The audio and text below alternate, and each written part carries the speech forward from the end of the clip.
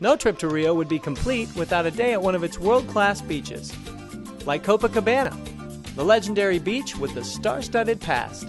One step onto its soft white sand, and you'll see why people come here from all over the world. Around that bend is Copacabana's slightly more fabulous twin, Ipanema, Rio's hotspot for the young and fabulous. Like Copa, this beach is marked with numbered posts. Post 9 could be the best people watching in all of Rio. Possibly the planet.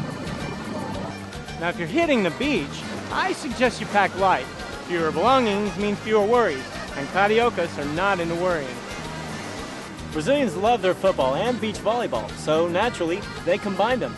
They call the hybrid sport futevôlei. There always seems to be a game on.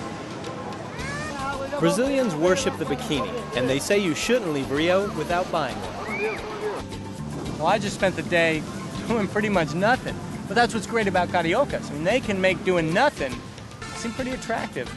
At American Airlines, we know why you fly.